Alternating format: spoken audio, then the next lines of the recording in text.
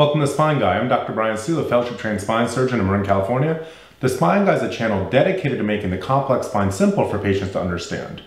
If you've watched my videos on treating cervical radiculopathy, you'll see that a cervical epidural steroid injection is one of the best ways to take inflammation off the nerve, and it's a good non-surgical way to treat a pinched nerve that's causing neck or arm pain. So what that involves is taking a needle and coating the nerve or the spinal cord with steroid, which is a very strong anti-inflammatory. And what that does is it shrinks the nerve so the nerve can learn to live in a small space. It doesn't really solve the problem, which is the pinching itself, but what it does is it just calms the nerve down to see if the body can heal itself. Epidural steroid injections are performed by interventional radiologists, anesthesia pain management doctors, physiatrists, and even surgeons. But no matter who's performing the injection, make sure that they perform at least 200 or so a year, if not more, and that it's always guided by CT guidance or fluoroscopy x-ray guidance. The epidural steroid injection of the cervical spine is placed in the epidural space, so epi means outside, and dura is the covering of the spinal cord and nerves. So the spinal cord and nerves live in fluid. That fluid is covered by a thin sac of saran wrap. So an epidural steroid injection is putting medicine over the nerve or cord. There's two different types of epidural steroid injections in the cervical spine. The first is something called a central epidural steroid injection. So that involves taking the needle, and this is the center aspect of the cervical spine, and medicine is placed in the midline here around the spinal cord, which is what you see in yellow. A transforaminal epidural steroid injection is placed over the nerves, and a transforaminal epidural injection is also called a selective nerve injection because it's selectively going over each of these particular nerves. The kind of medication that goes in is almost always local anesthetic, which is placed over the skin just so you don't feel the needle going in. Inside the syringe that goes over the nerve is a long-acting anesthetic, which is usually something called Marcaine, combined with a steroid, which is the same thing as cortisone.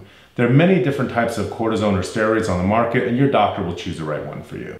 Cervical epidural steroid injections are either performed in the office setting or at a surgery center.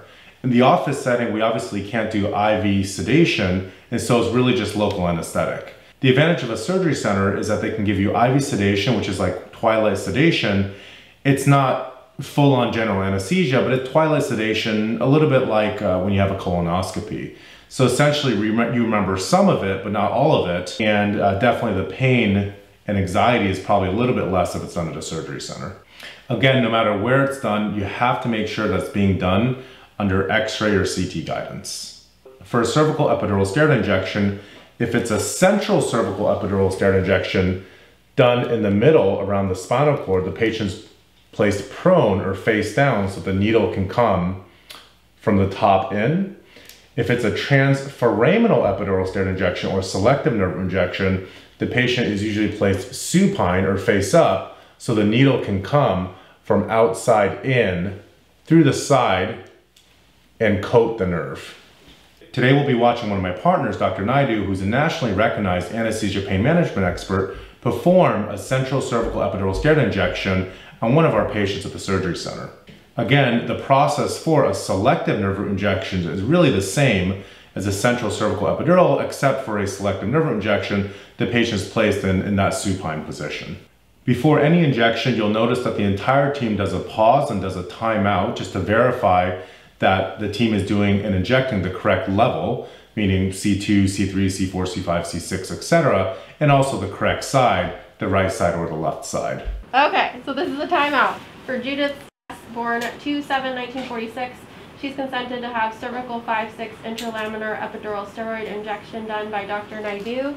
She has allergies to penicillin and sulfa. Penicillin, she gets hives. Sulfa, she gets rash. She is NPO, not on any thinners, and we all agree? Agree. Okay, agree. Uh, for the first procedure we have coming up, the cervical interlaminar epidural steroid injection, the goal of the procedure is to basically bathe the epidural space with a combination of local anesthetic, which is a numbing agent, and steroid, which, you know, frankly, we, we hope reduces inflammation, but also may have some epigenetic changes, and we'll get into that another time. So what I tell patients is uh, what we do is we, we bring you into the room after we obtain consent, and in the room is a fluoroscopy technician who's taking x-ray during the entire procedure. There's also a sedation nurse who provides sedation through the IV if that's what you choose to have. And then there's a scrub tech or an assistant who's handing off the equipment and my medications. And, and the most important thing we do is get you positioned, ready for the injection, uh, making sure everything looks good under the x-ray or fluoroscopy.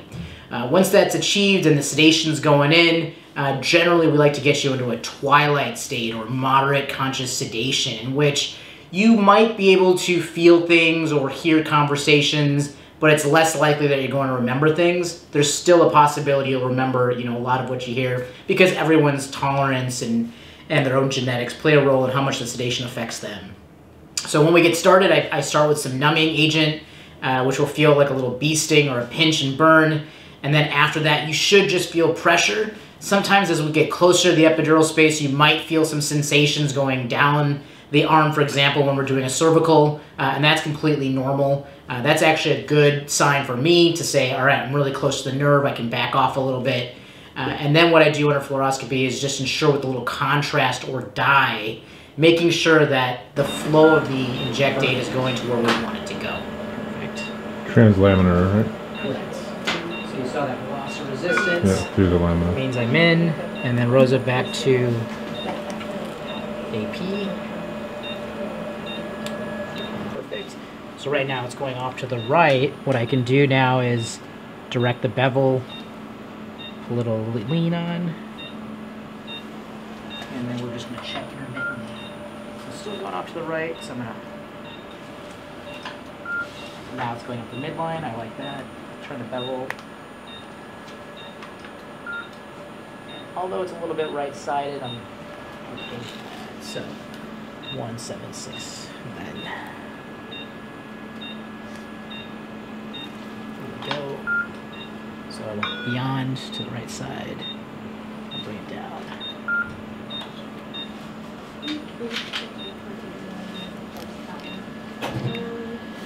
This is the contrast dye. There we go. So it started going to the left. So the dark is the contrast. Correct. And this is a washout view, so you'll see now it's on both the left and the right sides. And you can see how it spreads all the way even up to C3 and then down to T1. So that's all the dark areas there. We'll Correct. point that out. Yeah. Correct. And that's it. So then the steroid goes in now. Correct. So that's the steroid and that's That surrounding. That is it. And I'm going to just pull back the needle so now if she were to move her head, it's totally safe.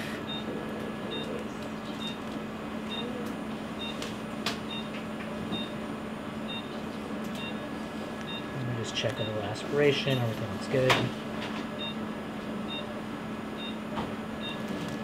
Doing okay? Yeah, it's, it's, I can feel whatever's going on. Okay. Well, we're all done. Did you feel a lot of pain? No, pain, I do, I just feel like, um, no- you know, nothing serious, just a little discomfort, yeah. Perfect. So how long did that take? off, Judith, okay? What? You're all done, Judith. I'm just unhooking some of the loose. Five, six minutes? Yeah. 13 seconds of radiation. So our recovery area is here. Right out here.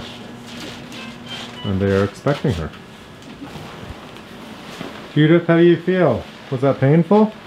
No, Wasn't too bad? no, The team did a good job? yeah.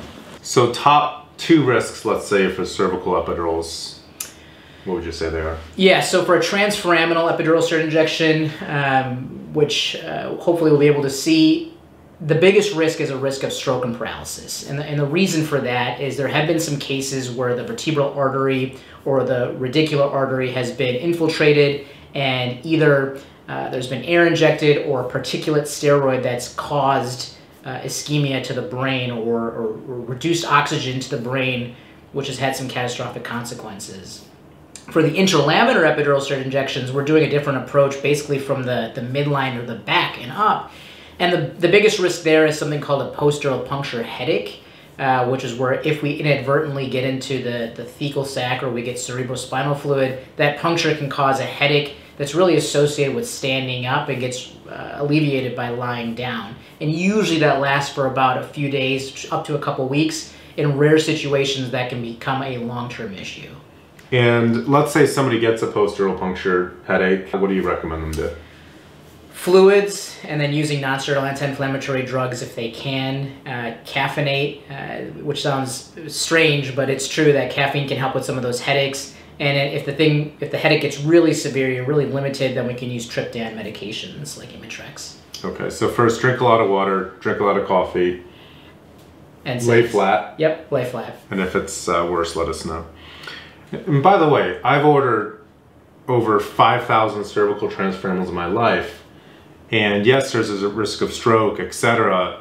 And that sounds horrible. If you're telling me that that could happen, I don't want that. But yet I've ordered that thousands of times because I simply don't see that complication when you guys are doing these injections. So even though it's a risk, just like there's a risk of dying if you walk across the street and a bus hits you, what are the actual chances of that happening from a percentage standpoint? Because again, I've never seen that. extremely, extremely low. And, and the reason why I, I'm describing it is because, as you can imagine, when these cases occur, they're, they get magnified in our interventional pain community because these are elective procedures, and we, we certainly are not accustomed to seeing such types of complications from a needle based procedure. But as you said, Dr. Su, this is extremely, extremely rare. After the injection, if you've had it done in the office, it's probably a good idea to have somebody drive you home, although technically you could drive home by yourself because you've, you haven't had sedation. If it's done at a surgery center because of the sedation that's given, you absolutely need to have somebody drive you home. I usually tell patients that it's good to rest and not work out or do any strenuous exercise for up to a week just to let the steroid marinate around the nerve. And also understand that sometimes there may be some local anesthetic benefit, meaning that local anesthetic gave that nerve a little bit of relief, but it can take up to two weeks for that nerve pain to get better. So don't despair if it's a week and you're not better. I tell patients not to get too worried. It can take up to two weeks to work. In terms of frequency of injections, we don't like patients getting more than four injections a year because it can cause osteoporosis. It can also cause blood sugar problems. And in general, we like to separate injections by at least six weeks. In my practice, if two injections don't work or the injections are pretty short lived, either have patients live with the pain or have it surgically fixed if it's a surgically correctable problem. Hopefully you learned something about what a cervical epidural steroid injection is and what it looks like. Don't forget to click the like button and leave comments in the comment box below.